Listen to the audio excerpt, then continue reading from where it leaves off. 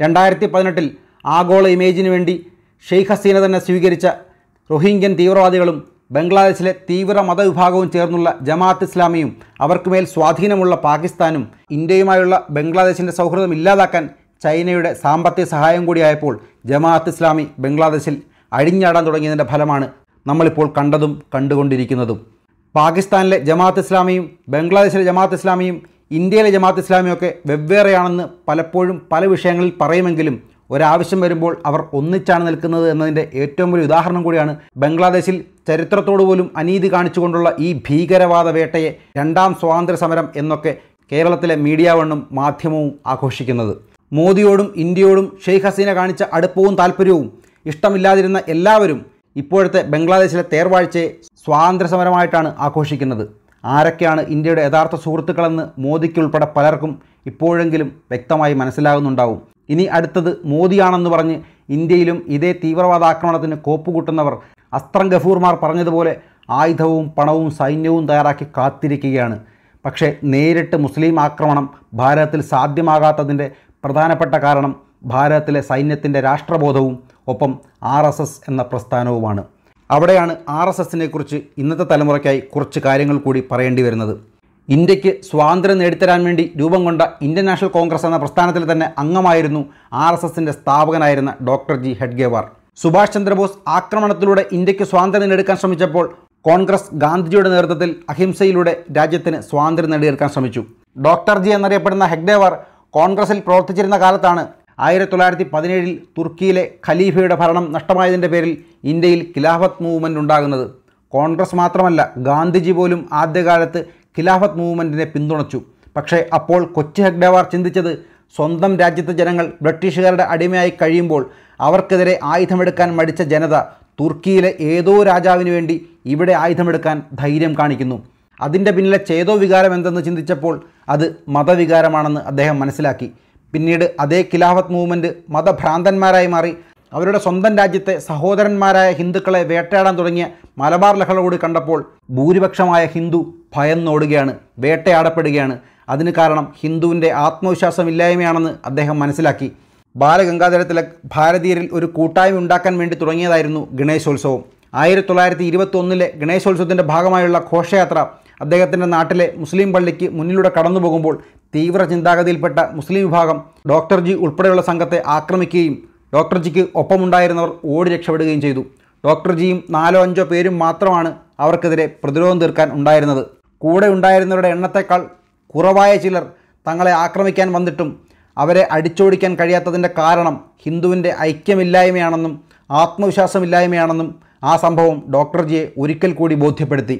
ഇതേപോലെ തന്നെ ആത്മവിശ്വാസമില്ലാത്ത ഭാരതത്തിലെ യുവാക്കൾ കാരണമാണ് മുഗളന്മാർ മുതൽ പോർച്ചുഗീസുകാരും ഡച്ചുകാരും ബ്രിട്ടീഷുകാരും വരെ ചെറിയ അംഗസംഖ്യയുള്ള സൈന്യം ഇന്ത്യയെപ്പോലെ വലിയൊരു രാജ്യത്തെ കീഴ്പ്പെടുത്തിയതെന്ന് മനസ്സിലാക്കിയ ഡോക്ടർ ജിയുടെ ചിന്തകൾ സ്വാമി വിവേകാനന്ദന്റെ ദർശനങ്ങൾക്ക് പിന്നാലെ ഭഗവത്ഗീതയിലേക്കാണ് പോയത്. അതുകൊണ്ടാണ് ഗാന്ധിജിയുടെ വഴിയിലൂടെ ആയാലും നേതാജി സുഭാഷ് ചന്ദ്രബോസിന്റെ വഴിയിലൂടെ ആയാലും ഭാരതം സ്വാതന്ത്ര്യം നേടുമെന്ന് ഉറപ്പാണ്. പക്ഷേ ഇനി ഒരിക്കലും മറ്റൊരു രാജ്യവും മറ്റൊരു വിഭാഗവും ഭാരതത്തിന് മേൽ അധിനിവേശം സ്ഥാപിക്കാൻ പാടില്ല എന്ന ചിന്തയിൽ ഭാരതത്തിലെ യുവതയ്ക്ക് ആത്മവിശ്വാസവും ധൈര്യവും കായികക്ഷമതയും നൽകാൻ വേണ്ടി ഡോക്ടർ ജി രാഷ്ട്രീയ സ്വയംസേവ സംഘം എന്ന ആർ എസ് എസ് രൂപീകരിക്കാൻ തീരുമാനിച്ചത്. നല്ല അഭ്യാസിയായ ഗുസ്തിക്കാരനായിരുന്ന ഹെഗ്ഡേവാർ സ്വാമി വിവേകാനന്ദന്റെ ദർശനങ്ങളും യോഗയും ഭഗവത്ഗീതയും ഉൾപ്പെടുത്തിയുള്ള പരിശീലനവും ബോധവൽക്കരണവുമായാണ് സംഘം തുടങ്ങുന്നത്. ആദ്യം നാഗ്പൂരിലും പിന്നെ മഹാരാഷ്ട്രയിലാകെയും പടർന്ന ആർ എസ് എസ് പിന്നീട് പണ്ഡിറ്റ് മദൻ മോഹൻ മാളവിയുടെ സഹായത്തോടെ ഉത്തർപ്രദേശിലെ ബനാറസ് ഹിന്ദു യൂണിവേഴ്സിറ്റിയിലാണ് മഹാരാഷ്ട്രയ്ക്ക് പുറത്ത് ആദ്യത്തെ ഓഫീസ് തുറക്കുന്നത്. ആ യൂണിവേഴ്സിറ്റിയിലെ വിദ്യാർത്ഥിയും ഒപ്പം തന്നെ അധ്യാപകനുമായി പ്രവർത്തിച്ചിരുന്ന ഗുരുജി ഗോൾവാൾക്കറിനെ അവിടെ വെച്ചാണ് ഡോക്ടർജി പരിചയപ്പെടുന്നതും. അദ്ദേഹത്തെ സംഘടനയിലേക്ക് കൊണ്ടുവരുന്നതും ആയിരത്തി തൊള്ളായിരത്തി നാൽപ്പതിലെ ഡോക്ടർ ജിയുടെ മരണശേഷം രാജ്യമാകെയും ഇന്ന് ലോകമാകെയും ആർ എസ് എസ് എന്ന പ്രസ്ഥാനം പടർന്നു പന്തലിക്കുന്നതിനും കാരണം ഗുരുജി എന്നറിയപ്പെടുന്ന ശ്രീ ഗോൾവാൾക്കറാണ്.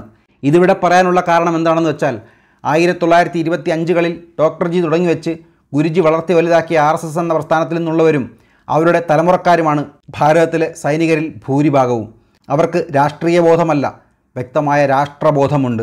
ആര് രാജ്യം ഭരിച്ചാലും അവർക്കൊപ്പം നിന്ന് അവരെ തിരുത്താൻ ശ്രമിക്കുകയല്ലാതെ ഭരണകൂടത്തിനെതിരെ ഭാരത സൈന്യം ഒരിക്കലും ആയുധമെടുക്കില്ല. ഇനി എടുക്കുന്ന ഒരു കാലമുണ്ടായാൽ അതിന്റെ അർത്ഥം ഭാരത സൈനികരിൽ മനഃപൂർവം അത്തരക്കാർ നുഴഞ്ഞു കയറിയിരിക്കുന്നു എന്ന് തന്നെയാണ്. കഴിഞ്ഞ ഇരുപത് വർഷമായി അത്തരം ശ്രമങ്ങൾ ഇവിടെ നടക്കുന്നുണ്ട്. പള്ളി കമ്മിറ്റിയും സി പി എം ഏരിയ കമ്മിറ്റിയും പ്രത്യേക പരിശീലനം നൽകി സൈന്യത്തിലേക്ക് ആളെ കയറ്റിയേക്കുന്നത് ജോലിക്കല്ല സൈനിക സേവനത്തിനുമല്ല രാഷ്ട്ര സേവനത്തിനുമല്ല. നാളത്തേക്കുള്ള തയ്യാറെടുപ്പുകളാണെന്നത് വസ്തുതയാണ്. അതായത് നാളെ ഒരിക്കൽ നമുക്കും ബംഗ്ലാദേശിന്റെ അവസ്ഥ വന്നേക്കാം. ഇന്ന് അവർക്ക് അങ്ങനെ ചിന്തിക്കാൻ കഴിയാത്തതിന്റെ കാരണം നരേന്ദ്രമോദി നയിക്കുന്ന ഭാരത സർക്കാരും ഭാരത സൈന്യത്തിന്റെ ഐക്യവും ആർ എസ് എസ് എന്ന പ്രസ്ഥാനവും കാരണമാണ്. രാജ്യത്തിനെതിരെ യുദ്ധം ചെയ്യാൻ തയ്യാറായിരിക്കുന്ന മുസ്ലിം ഭീകരവാദികൾക്ക് നേരിട്ട് രംഗത്തേക്ക് വരാൻ കഴിയാത്തതുകൊണ്ടാണ് അവർ പൗരത്വ ഭേദഗതി ആർട്ടിക്കിൾ ത്രീ സെവന്റി അയോധ്യ കർഷക സമരം മുത്തലാക്ക് എന്നൊക്കെ പറഞ്ഞ് ഓരോ കാരണങ്ങളുണ്ടാക്കുന്നത് അതിൽ നുഴഞ്ഞു കയറി ആക്രമണങ്ങൾ നടത്തുന്നത് ഈ മുസ്ലിം കമ്മ്യൂണിസ്റ്റ് ഖാലിസ്ഥാൻ തീവ്രവാദികൾ തന്നെയാണ്. അതൊക്കെ കരുതലോടെ നിയന്ത്രിക്കാൻ ഇന്നുവരെയും നരേന്ദ്രമോദിക്ക് കഴിഞ്ഞിട്ടുണ്ട്. ഭാരതത്തിന്റെ കരുത്തായ സൈന്യത്തിൽ വിള്ളലുണ്ടാക്കാനുള്ള ശ്രമത്തിന്റെ ഭാഗമായാണ് രാഹുൽ ഗാന്ധി തുടർച്ചയായി അഗ്നിവീർ പദ്ധതിയുമായി ബന്ധപ്പെട്ട് വിവാദങ്ങളുണ്ടാക്കുന്നത് ആറു വർഷത്തെ കരാർ അടിസ്ഥാനത്തിൽ രാജ്യത്തെ യുവാക്കൾക്ക് സൈനിക പരിശീലനവും അതിൽ മിടുക്കന്മാർക്ക് ജോലിയും നൽകാനുള്ള പദ്ധതിക്ക് ഇപ്പോൾ പെൻഷൻ കൊടുക്കുന്നില്ല എന്നാണ് രാഹുൽ ഗാന്ധി ആരോപിക്കുന്നത്.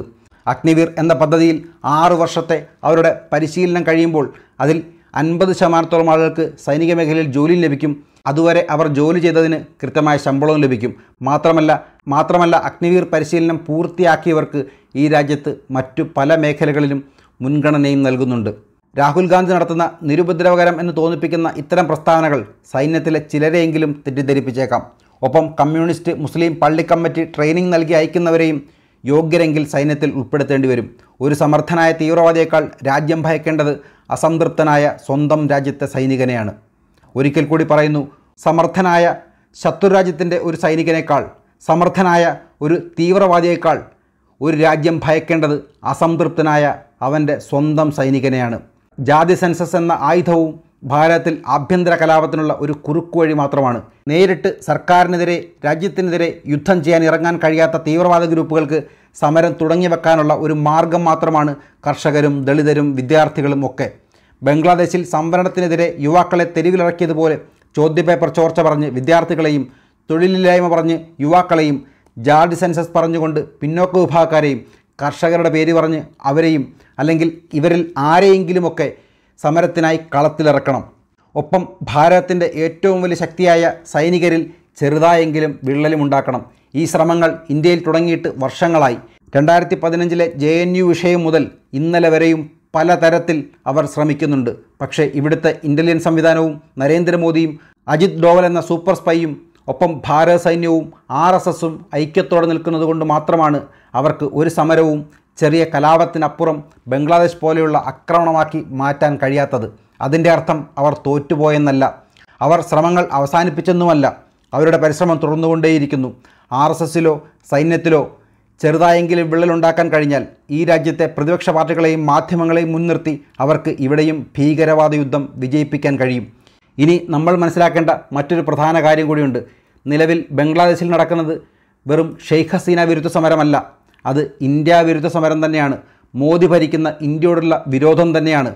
അത് വ്യക്തമായി ഖാലിദാസിയെ പിന്തുണയ്ക്കുന്ന ബംഗ്ലാദേശികളോട് സംസാരിച്ച് ഞാൻ മനസ്സിലാക്കിയിട്ട് തന്നെയാണ് പറയുന്നത്. അവർ പറയുന്നത് അല്ലെങ്കിൽ അവരിലേക്ക് ചിലർ പ്രചരിപ്പിച്ച് എത്തിക്കുന്നത് ബംഗ്ലാദേശി യുവാക്കളെ വെടിവെച്ച് കൊന്നത് ബംഗ്ലാ പോലീസോ പട്ടാളമോ അല്ല.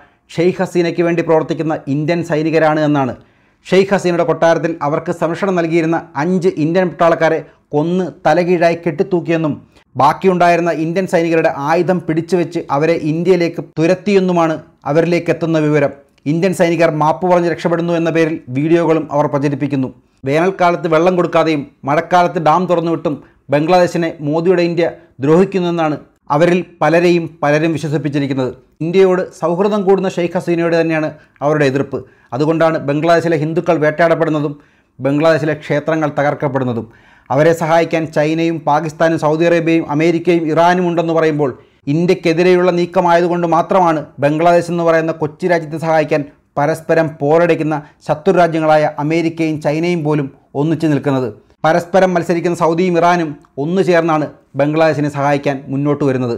ഇതൊക്കെ വ്യക്തമായി മനസ്സിലാക്കിയാൽ ഭാരതത്തിലെ യുവാക്കൾക്ക് സമാധാനത്തോടെ ഇനിയുള്ള കാലമെങ്കിലും ജീവിക്കാം. ഇന്ന് ബംഗ്ലാദേശിൽ വേട്ടയാടപ്പെട്ട ഷെയ്ഖ് ഹസീനയെയും പാവപ്പെട്ട ഹിന്ദുക്കളെയും സ്വീകരിക്കാൻ ഭാരതമുണ്ടായിരുന്നു. പക്ഷേ ഭാരതത്തിനുള്ളിലും ഭാരതത്തിന് പുറത്തുമുള്ളവരുടെ പദ്ധതികൾ വിജയിച്ചാൽ ഇവിടെ നിന്ന് ഹിന്ദു എങ്ങോട്ടോടും ആര് സ്വീകരിക്കുമെന്ന് സ്വയം ചിന്തിക്കുക. ആരെയും ആക്രമിക്കാനോ എതിർക്കാനോ അല്ല പറയുന്നത്. സ്വന്തം തലച്ചോറ് ആർക്കും പണയം വെക്കാതെ സ്വന്തം ബുദ്ധിയിൽ ചിന്തിക്കുക. ഭാരതത്തോട് കൂറുള്ളവനായി തുടരുക. അവസാനം ഒരു കാര്യം മാത്രം പറയുന്നു. നമ്മുടെ രാജ്യത്തെ സർക്കാരിനോട് ജനങ്ങൾക്ക് പലതരത്തിലുള്ള പരാതികളുണ്ടായിരിക്കാം. എല്ലാ പരാതികളും പരിഹരിച്ച് ഒരു ഏതൻ തോട്ടമുണ്ടാക്കാൻ ഒരു സർക്കാരിനും കഴിയില്ല. അയ്യോ മോദി ഞങ്ങളുടെ പണം ടാക്സായി പിടിച്ച് പാവങ്ങൾക്ക് ചാരിറ്റി ചെയ്യുന്നതിന് നിലവിളിക്കുന്നവർ തൽക്കാലം ഇത്രമാത്രം ഓർക്കുക. ഒരു രാജ്യത്ത് അരാജകത്വം സൃഷ്ടിച്ച് കലാപമുണ്ടാക്കാൻ ശ്രമിക്കുന്ന ബാഹ്യ ആന്തരിക ശക്തികൾക്ക് വളരെ വേഗം സ്വാധീനിക്കാൻ കഴിയുന്നത് ആ രാജ്യത്തെ ദരിദ്രരെയാണ്. ഇത്തവണയും നമ്മൾ കണ്ടു വെറും ഒരു ലക്ഷത്തിന്റെ പിന്നാലെ പോയ ആ ദരിദ്രർ വോട്ട് മോദിക്കെതിരായി കുത്തിയതുകൊണ്ടാണ് മോദിക്ക് സീറ്റുകൾ കുറഞ്ഞത്. നാളെ ആ ദരിദ്രരെ ആയുധമെടുപ്പിക്കുന്ന തരത്തിലേക്ക് സ്വാധീനിക്കാൻ പലർക്കും കഴിഞ്ഞേക്കാം. അതുകൊണ്ട് തന്നെയാണ് ഭരണകൂടം അവരെ കൂടുതൽ കരുതലോടെ പരിഗണിക്കുന്നത്. നാളെ സുരക്ഷിതമായി അവരവരുടെ വീട്ടിൽ കിടന്നുറങ്ങാൻ പോയിട്ട് കലാപകാരികളാൽ ബംഗ്ലാദേശിലെ പോലെ കൊള്ളയടിക്കപ്പെടുന്നതിലും കൊല്ലപ്പെടുന്നതിലും നല്ലതല്ലേ ഉത്തരവാദിത്തമുള്ള ഒരു സർക്കാരിന് നികുതി അടയ്ക്കുന്നത് എന്ന് ചിന്തിക്കുക.